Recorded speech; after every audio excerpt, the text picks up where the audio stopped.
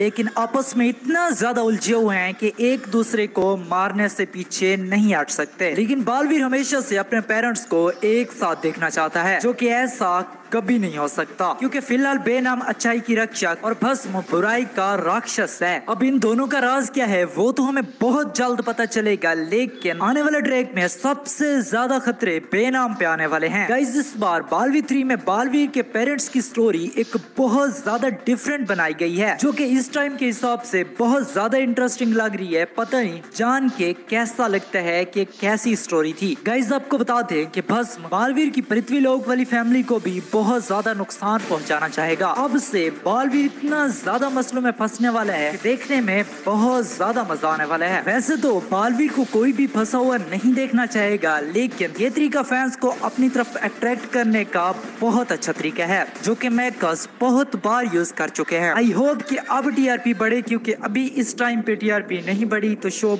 बहुत जल्द बंद हो सकता है। गैस अभी तो शो की शूटिंग चल रही है, लेकिन ये ज़्यादा देर तक नहीं चलने वाला। मतलब यार, आप खुद सोच के देखो कि 0.2 पे बालवीर कितना अरसा चलता रहा, और वो कौन सा शो है जो इतना ज़्यादा सरवाइव कर पाए ऐसे टाइम में? तो अगर बिल्कुल जैसे अभी चल रहा है, ऐसा चलता रहा तो बालवीर थ्री का ऑफेयर होना तो पक्का है। बाकी हम अच्छे की उम्मीद करते हैं। वीडियो कैसी लगी कमेंट में ज़रूर बताइएगा और अगर आप चैनल पर न्यू है तो सब्सक्राइब ज़रूर से कर दे। मिलते हैं next important and informative video में। तब तक के लिए बाय अल्लाह हाफिज।